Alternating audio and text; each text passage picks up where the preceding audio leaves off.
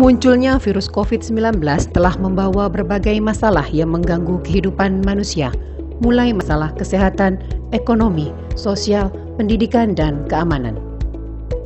Pemerintah telah membentuk gugus tugas untuk menanggulangi.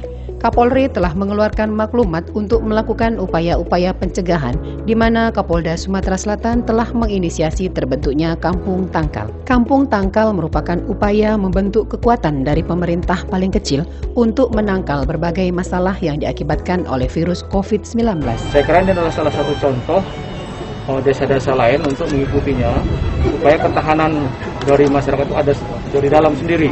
Ini adalah bagian daripada masyarakat mencegah secara bersama-sama COVID-19. Polri bekerja sama dengan Dinas Kesehatan. Dari jumlah desa 3.338 di wilayah Sumatera Selatan telah berdiri 3.080 posko siaga COVID-19. Untuk menjaga dan meningkatkan ketahanan pangan, telah ditanam 85,4 hektar tanaman pangan dan telah ditabur 138 ribu benih ikan.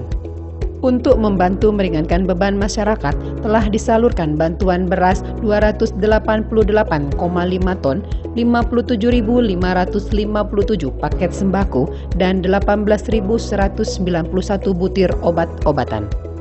Sedangkan untuk mengantisipasi masalah sosial lainnya, telah dilakukan kegiatan bimbingan belajar dan pembinaan agama terhadap 2.337 anak-anak dan mengaktifkan 3.096 poskamling. Pada akhirnya, dengan keberadaan kampung tangkal COVID-19 diharapkan masyarakat dapat melaksanakan aktivitas sehari-hari dengan tetap mempedomani protokol kesehatan, sehingga terwujud situasi Kamtipmas yang aman, tertib, dan kondusif.